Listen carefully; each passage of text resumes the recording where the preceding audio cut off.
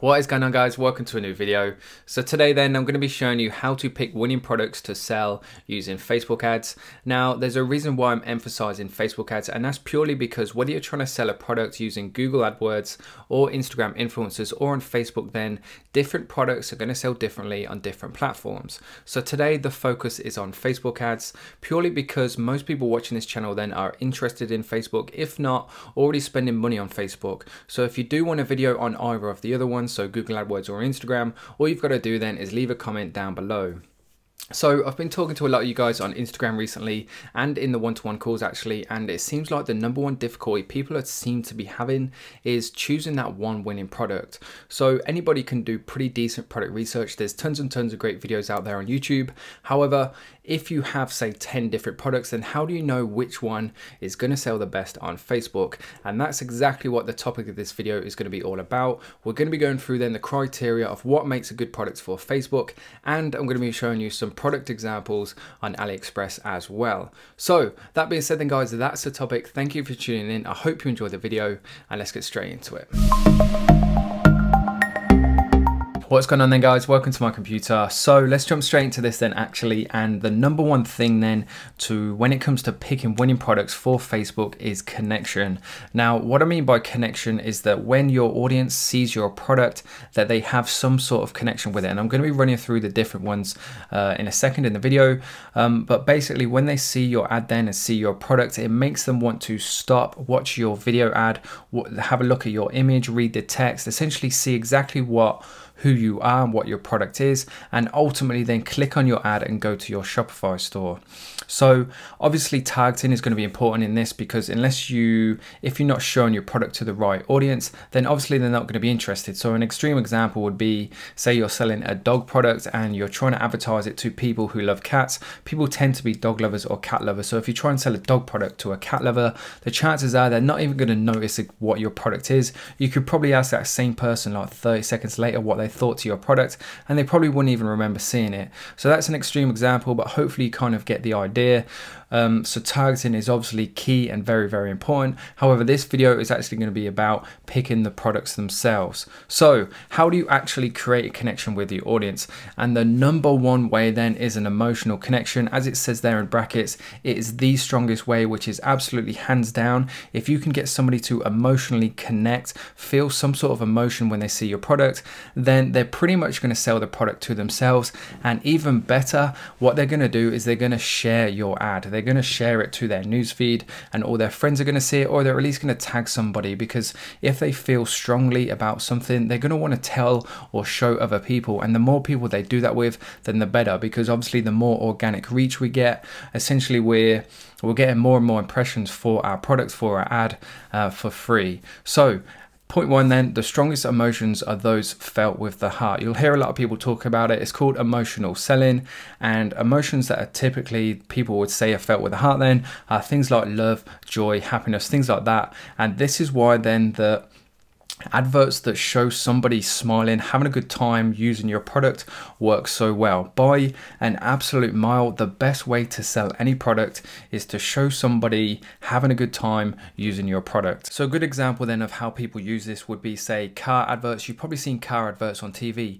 Very, very, very rarely you'll just see like a walk around of the car or the car driving around, the chances are you'll see actually see somebody driving the car, smiling, have a good time, or other people seeing the car and smiling at it or taking pictures of it. It's just the best way to sell.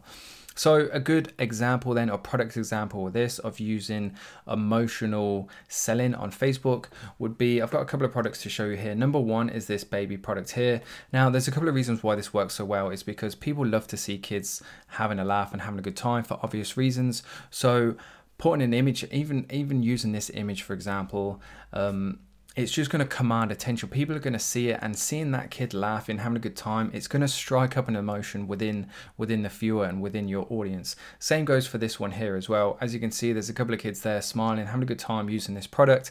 And especially if you target mothers or new parents that have that have babies or kids of similar age and they see these kids having a good time using this product, straight away they're going to want to see their own kids having a good time using this product as well. And therefore, they're more likely to buy it if that makes sense. The chances are as well that people tend to have friends of similar generations to themselves, so they probably know somebody else who's a new parent as well. So again, it comes in handy for sharing your post um, and tagging other people and building that organic reach.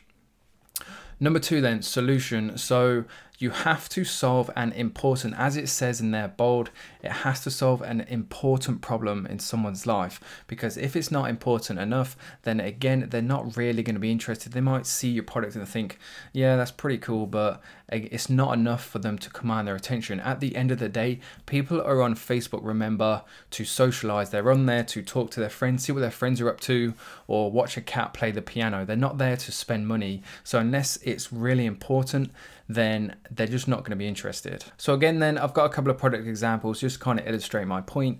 Um, number one then is this toilet roll holder thing here. As you can see, it's got over two and a half thousand orders. So it's, it's, it must be a decent product. It must be a popular product but I challenge anybody to try and sell this successfully on Facebook because it's just a boring product as good as it is and it does solve a problem it's just boring people like I said people are on Facebook to be entertained um, they're not on there to look at just boring products like this. Now, if you want to prove me wrong, by all means, feel free, go out, test this product and make sure you come back, let me know what kind of um, results you get because as you can see it's got good reviews it's got a decent amount of orders it's obviously does the job well enough. But in terms of advertising this on product on on facebook then i just don't believe it's going to fit very well.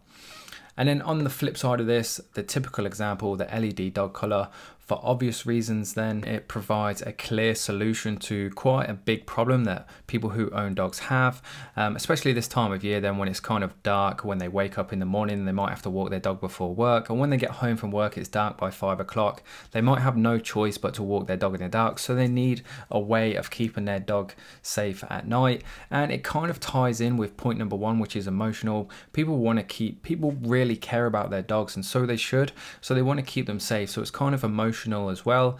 And it kind of links into point number three as well, which is easier. So make someone's life a lot easier. And as you can see, it says in bold there again a lot. There's some keywords in all of these, and that's because that they have to have an impact on your it has it ultimately comes back to having a connection with your audience and it has to be a strong connection. You can't just make somebody's life a bit easier or provide a solution to such a small problem like this um, toilet roll holder here. It has to be big it has to be bold it has to be enough for somebody to take the time out of their day to actually stop on your facebook ad and look at your product. So again i've got another product example to show you guys here. I don't know you might have seen this one before. Um, I know it sold really, really well for quite a few people. As you can see, it's got nearly a thousand orders and it provides quite a clear problem. And again, it kind of links in with number one, which is emotional, which is the strongest one. People who have kids really, really care about their kids and their safety. They want to keep them safe. So, and this product does it, it stops them from falling off a chair and hurting themselves. And it provides point number three, which is make someone's life a lot easier. It means they can put their, their kid or their toddler in a chair and they don't have to worry about them falling out essentially. Another reason then why this product works so well as well is because when it comes to marketing, obviously you've got a kid here um, having a good time, laughing, um, again, another one there. So it just, it almost, pretty, pretty much plays on every single point, which obviously the more of these that you can combine into one product, then the better chance you have of that actual winning product. And then moving on to the fourth, I believe, fourth and final point, which is increased perceived status. So if somebody sees your product, everybody likes to look good in front of their friends, their family, um, and do well, if that makes sense. Um, and this is like the four, oh, I had to include it because it's still relevant, but it's probably the least important one or the least likely that you're going to use uh, when choosing products because ultimately it pretty much comes down to branding. So somebody who will feel better um, about themselves and about how other people perceive them about using and having your product, then the it increases their chances of wanting your product, for example. So things like a Rolex, then everybody who wears a Rolex probably feels pretty good wearing a Rolex. They want their friends to see them wearing a Rolex, and it, it makes a statement. Same thing with the latest trainers. It's the reason why people have 50 pairs of trainers because they want the latest ones. They want people to see them wearing the latest ones, um, and wearing them makes them feel good as well. And the kind of final point then that I've put there is branding. So this all comes down to branding. Like I said, unless you've got a really established brand that people buy into and people like feel good and important about your brand and actually representing your brand, then that's the only chance you have of pretty much playing on this last factor. So that being said then guys, there are my four points to picking winning products for Facebook. As I said at the beginning, this is really, really, really important that you understand everything I've spoken about. Um, any questions whatsoever, I wanna make sure you guys understand this as much as possible because it just, it will increase your chances of picking that winning product for Facebook just tenfold. So any questions whatsoever, leave a comment down below, reach out in any of my social medias, all the links are in the description. And that being said then guys, I'm gonna wrap the video up. If you're still watching, thank you very much. I hope you enjoyed the video and I'll see you in the next one.